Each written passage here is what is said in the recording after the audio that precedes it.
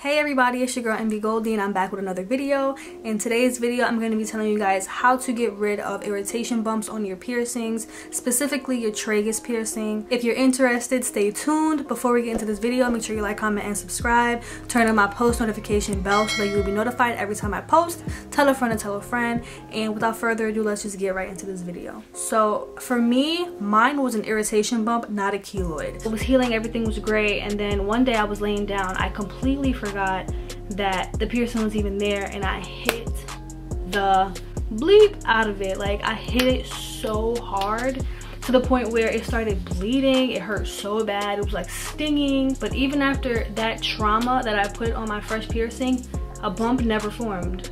Then after that, it was healing fine. At night, I was sleeping and in the midst of my sleep, hit my ear again so hard to the point where it woke me up but I was so sleepy that I didn't feel like getting up to go look at it. So I was like, whatever, I'll just deal with the consequences in the morning. So when the morning came, I looked in the mirror and there was a bump on it. It was not bleeding or anything, but it had a bump. So I knew from my these cartilage piercings that I have up here, I knew from then from these, these had keloids. So I knew that tea tree oil was used to treat keloids.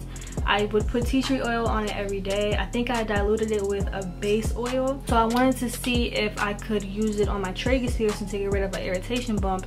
And sure enough, it did go away. The thing is, tea tree oil didn't get rid of the bump for my tragus as quickly as it did for my upper cartilage piercings. For my tragus, I had to keep applying the tea tree oil like multiple times a day like three or four times a day for about two months before the bump actually started to go down. Also you should not use peroxide or anything with peroxide in it to clean a piercing that's in the healing process because you know it'll dry out. But i did use this piercing pagoda solution. I'm not sure if you'll be able to see it.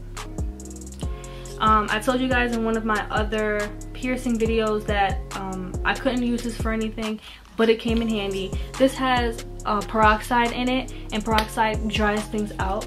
So the peroxide and the tea tree oil together dried out the bump and that's what really made it go down. So again, I applied perox, well the the pagoda thing but you can just use hydrogen peroxide and the tea tree oil together on a q-tip and right after i cleaned the piercing with the h2 ocean spray i would put these on the q-tip together and i would put it just on the bump multiple times a day and then eventually it just went away. Now if that doesn't work for you because i i have heard people say that tea tree oil didn't help with their irritation bump on their tragus if that doesn't work for you i've seen videos of people crushing aspirin tablets about two or three aspirin tablets to a very small amount of water to make a paste and they apply it to their piercing bump every day and it does go away. I've seen a lot of success stories with that method so if my method doesn't work for you please do that one because i know that one will work. Being how aspirin is anti-inflammatory it does aid in reducing the size of your bump. I'm not sure if it works for keloids or not. You guys can try it out. Let me know in the comments. But i know for irritation bumps it will work wonders. I hope this was informative. Thank you for watching. Before you leave make sure you like comment and subscribe. Tell a friend and tell a friend. Turn on my post notification bell so that you'll be notified every time i drop a video. Comment down below what videos you would like to see from me next and i'll see you guys in my next one